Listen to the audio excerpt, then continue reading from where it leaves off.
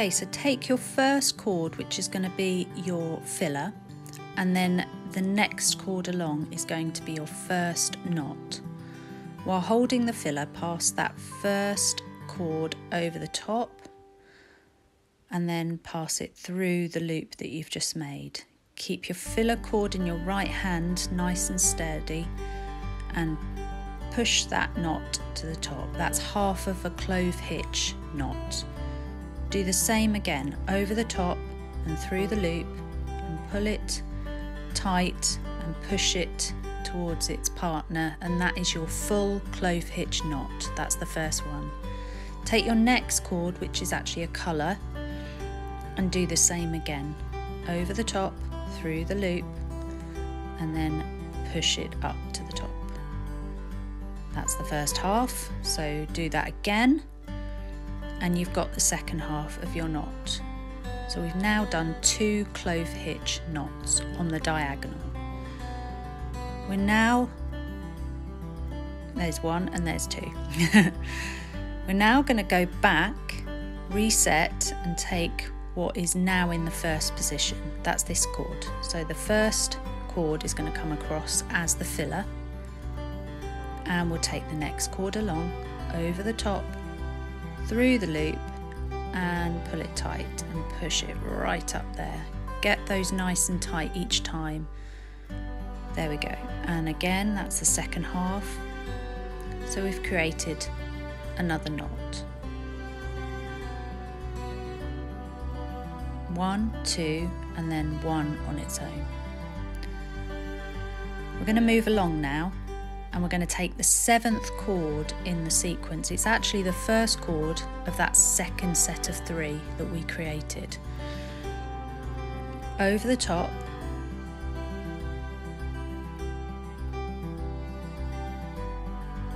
pull it tight, that's it. Over the top again to make the complete knot. And can you see we did that with the next cord along? So we took that seventh cord and then use the eighth to create that knot. We're now getting the ninth cord and creating the next knot.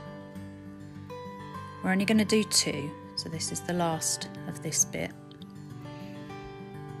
Second half of the knot, so we've got that second knot. Okay, so reset, tidy up, we're going to go backwards now.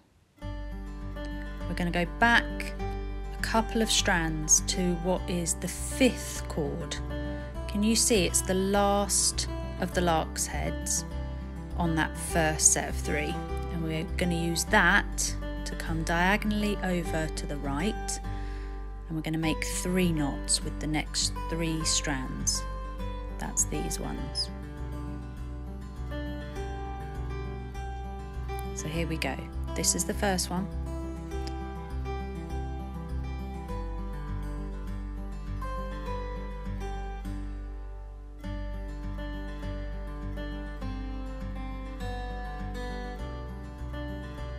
Nice and tight. Here's the second one.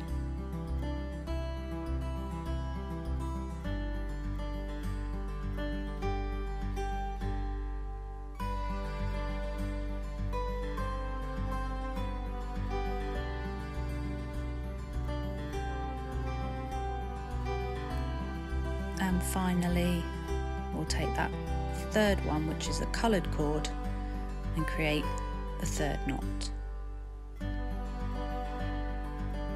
So in that little section we did two on the previous one and then we've just done three knots on the next one.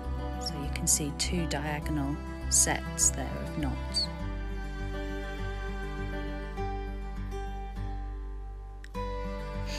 Moving along, we're going to go to the next set. Can you see it's the next set of three lark's heads? And we've got that first strand coming across and we're going to make two knots on the diagonal. So this is the first one.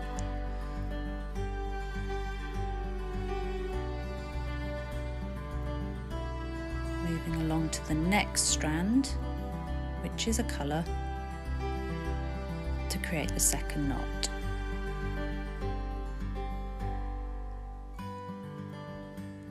So if you imagine those groups of three, we're doing the same thing to each of the groups of three.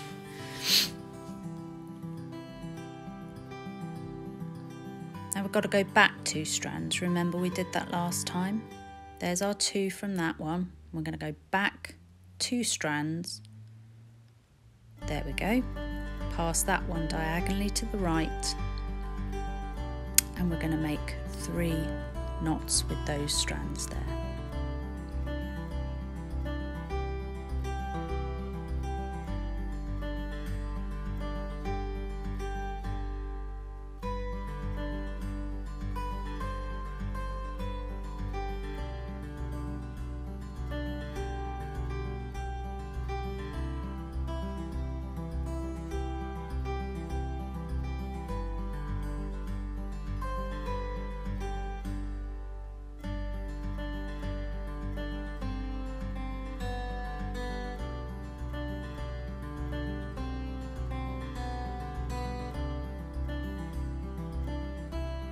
Here's the last one.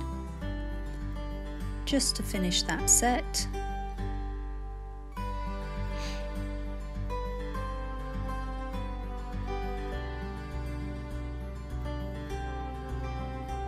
And you've completed another pair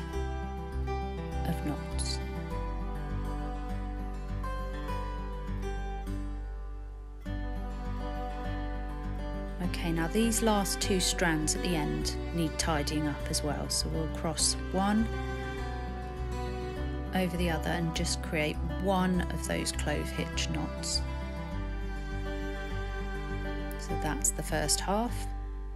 And this is the second half. That just tidies up that end for that row.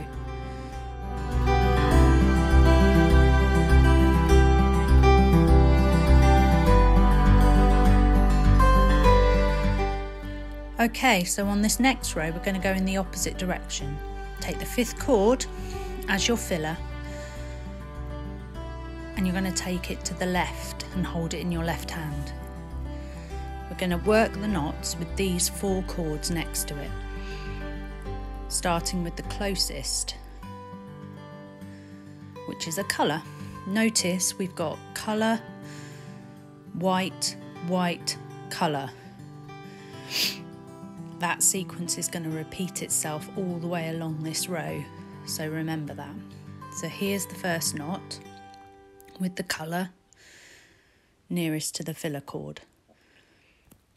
Then we're going to take the white cord and create the second knot. Remember we're going in the opposite direction, so we're moving towards the left.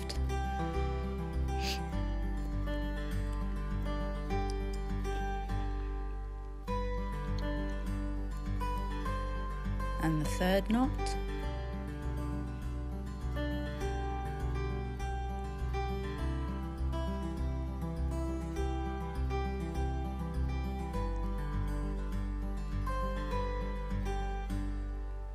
And finally, the fourth knot.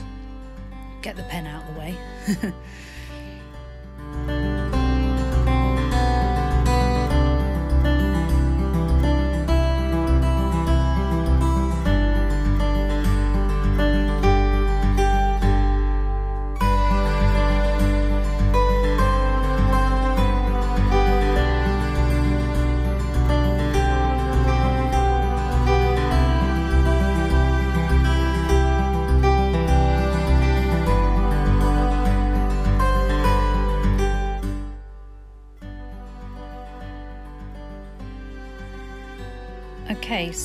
taking the sixth cord and moving that along to the left. And we're going to work four knots onto that filler cord with the same strands that we just used. So here's the first one with that colour. And we're still working along that filler cord towards the left. So that's the first one. And here's the second cord with a white cord. Now we're speeding up the video because we are repeating ourselves and you know what you're doing. So here's the third. By now you've got used to making these knots. So it's just a case of following the pattern. And here's the fourth with the last colour. And that's given us two parallel diagonals, if you like.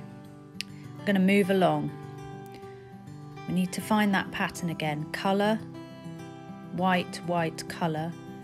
And move along, find the 10th cord to be your filler. And he's going along to the left. That was quite quick, but that was the first one. Here's the second knot.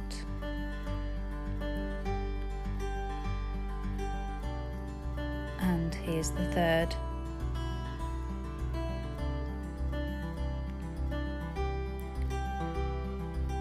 Finally the fourth knot on that last coloured strand.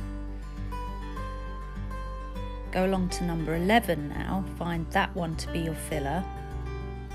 There's your four that you're going to use for knots and here's number 11 coming across to be the filler cord and create four knots just as you've done before along that diagonal. Number one, number two, number three, and number four on the colour to finish. Now you've guessed it, move those along and find your next set. Here they are, colour, white, white colour. Take the cord from the right side of those and use that as your filler to create four knots on that diagonal, travelling to the left. Here's the second knot. Here's the third.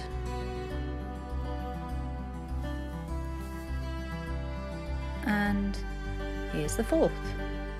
Ooh, move it along. Sometimes you have to jig things a little bit. Just so you can make sure you're seeing those strands. Okay, there's that last cord coming across as our filler and we'll do four knots again onto that diagonal across. You should be able to see that we are forming three diamonds with these. I don't know if you can see that yet, but three diamonds are just appearing in our pattern now. Okay, so give yourself a straighten up, get those strands all in the right order. You don't want them crossing over and getting confused. So here we go, we're going to go for the next row. We take the first three and this time our filler cord is going to go over to the right because remember we work in the opposite direction to the row we did before. Take the next cord to create your first knot. That's it, make sure we've got it going the right way. Your filler cord stays nice and straight and the working cord is what creates the coil and the knot. So here we go, this is the second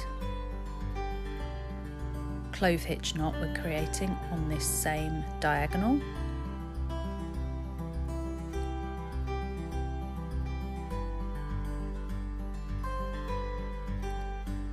Reset,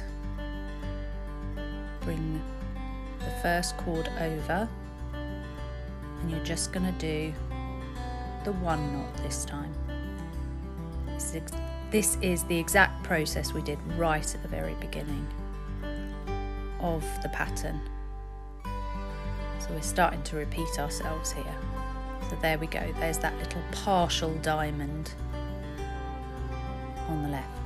Go along, find your four in that pattern, colour, white, white colour, and bring the next one across, and eventually you'll do that other one as well. So here's the first one, comes across, make your knot. Remember, we're working to the right this time on the diagonal. Go to your next strand, create the second knot. To your third strand and make the third knot.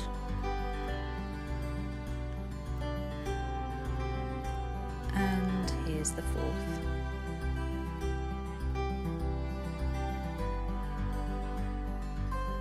Back we go to the beginning of that section, find the other diagonal filler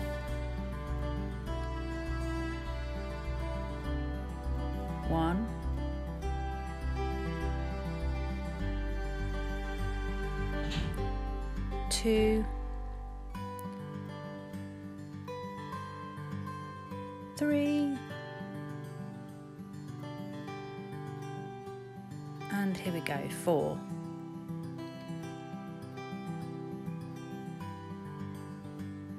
There we are. That's that pair going diagonally. Come along. Find your pattern of four strands and the two to the left of it, they're going to be your fillers. Take the first one, the nearest one, and we'll do four knots again. This is all repetition, and in a moment, I'm just going to leave you to watch the video and follow along. You can pause, you can rewind, you can even slow it down on YouTube if you just look to the top, there is a setting where you can slow it down. So this is our third knot and finally the fourth knot on this section and I'll just talk you through the very last part of this row in a moment. We've just got to do the second half of this. So here's that other filler. Work your first knot onto that filler cord. Second knot,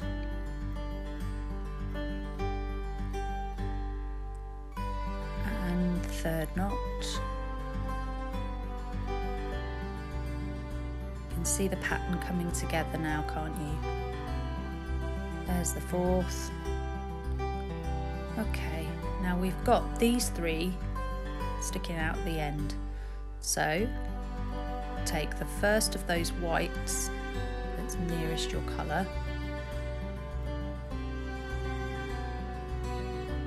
create a knot just as before, just as you always have with this pattern, and leave that. Then take the second white one and you're going to do a knot onto there and a second knot onto that same diagonal because what you're actually doing is creating a partial diamond off the side. Imagine it was carrying on, but it's not.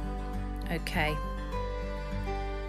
here we go. We're back to our nice four here on the left and our two filler cords coming towards the left and we're going to work those in. See if you can just follow what's going on with the video.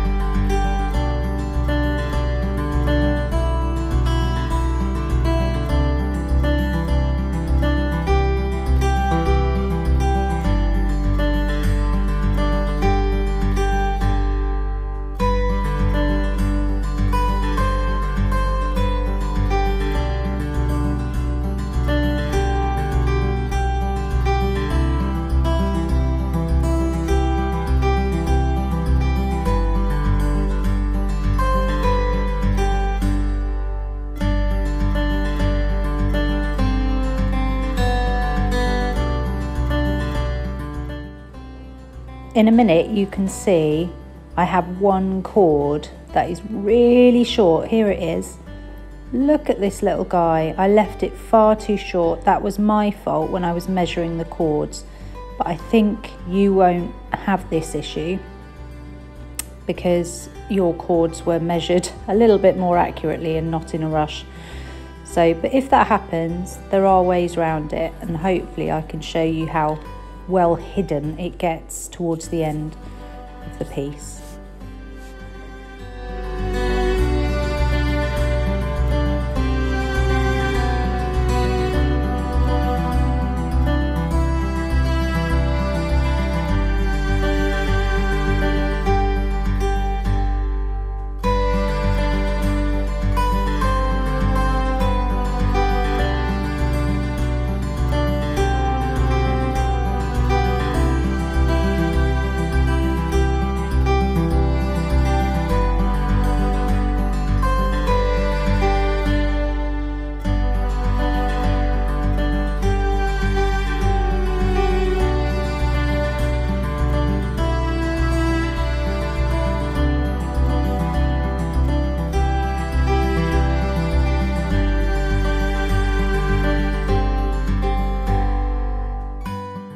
So as we come to the end of this row, we now have to just tie off these diamonds.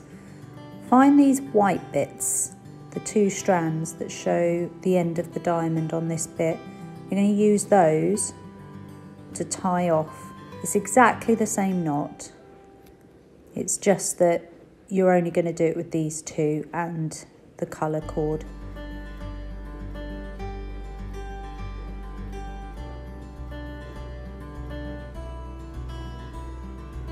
There's that second knot with the coloured cord.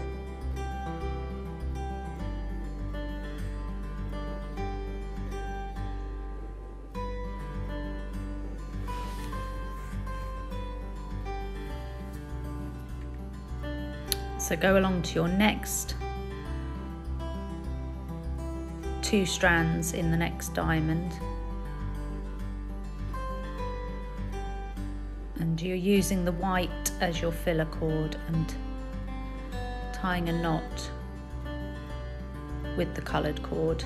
Then go to your second white cord as a, a filler and do a, a single knot on that one. And that just completes the diamond shape.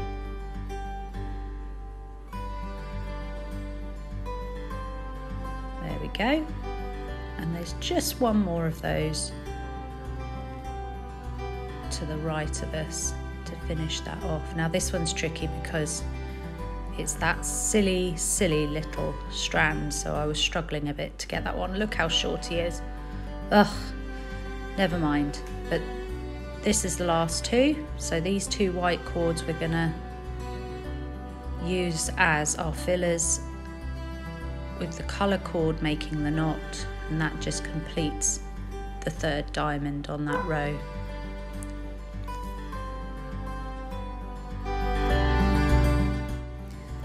Okay, so this is the point where we're going to tie off these three sections um, to finish our piece. We're going to get a spare bit of thread. I've cut a little bit here and I'm splitting it down the middle so it's not as thick. It's two strands instead of the four that are twisted together. So here's the one I'm using. And I'm just going to hold about two inches, grab our piece that we're going to wrap and I'm going to get about two inches of an end pointing upwards like that and grip the rest under my thumb. I'm going to create a loop just here underneath and then I'm going to take the other end around and wrap around all of that bunch of strands tight as I can keeping the loop underneath that wrap and obviously that two inch bit poking out at the top then I need to find the loop just as I do my last wrap, maybe three or four times I've done, and I bring that loose end through the loop and just hold on to it nice and tightly with that hand now. And then I need to tighten that loop. And the way we do that it's come through. And the way we do that is we pull this cord at the top and that brings that loop tight. Can you see that it's, and then it will disappear under the wrap that you've just done and pull that loose thread under the wrap as well. So it's completely wedged under there. And if you've wrapped nice and tightly, that's not going to go anywhere at all. Okay, and you can just jig it about, give it a bit of a shove. And then we just need to cut these ends off. So go as close as you dare and take off those two ends. Be careful you don't cut anything else. That's one. And we need to repeat that on the other three areas. Remember this middle one is going to have that really short bit, so we must make sure we trap that short bit underneath our next wrap.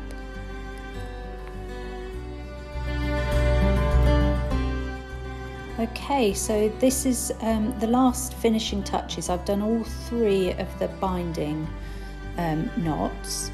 I'm just trying to find the shortest, obviously not including that silly spriggedy bit, but the shortest length so that that's roughly where I'm gonna um, trim to.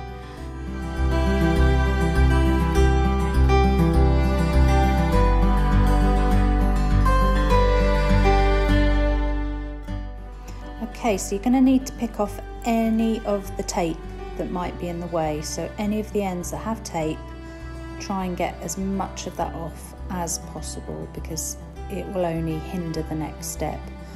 And quite frankly, honestly, this is the best bit.